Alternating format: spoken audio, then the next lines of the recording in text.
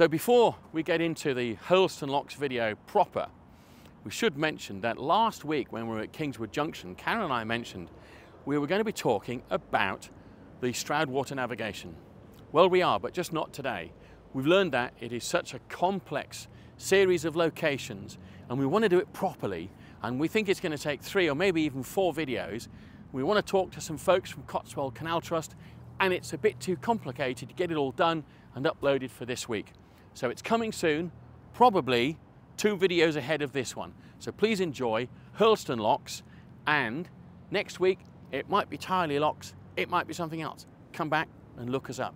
Thank you very much. Meanwhile, subscribe to the channel.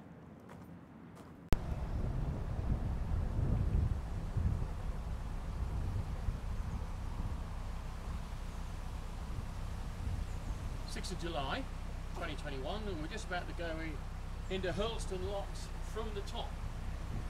We've already traversed the Llangollen Canal from end to end, done the aqueduct, all sorts of other fun things.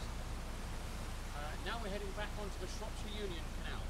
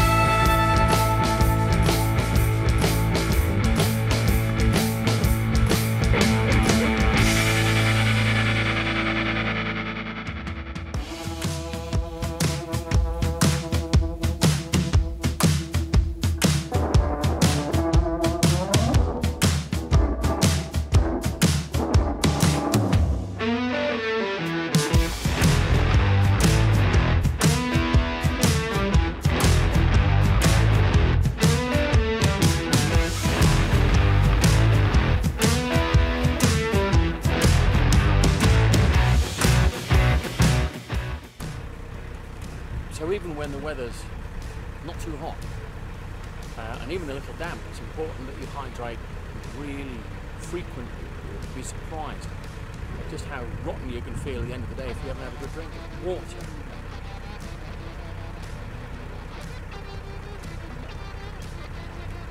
Wine or beer is later, when you've moored up.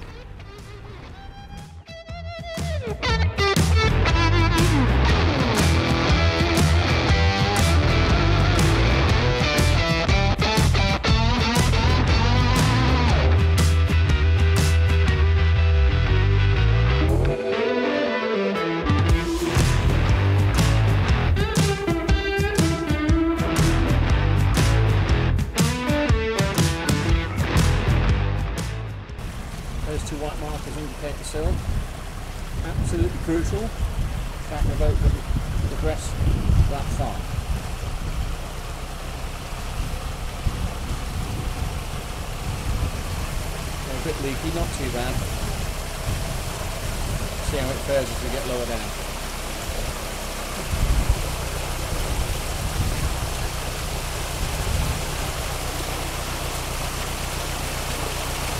There's the sill emerging. So you imagine that your stern of your boat, the propeller, catches on that. It could be very serious.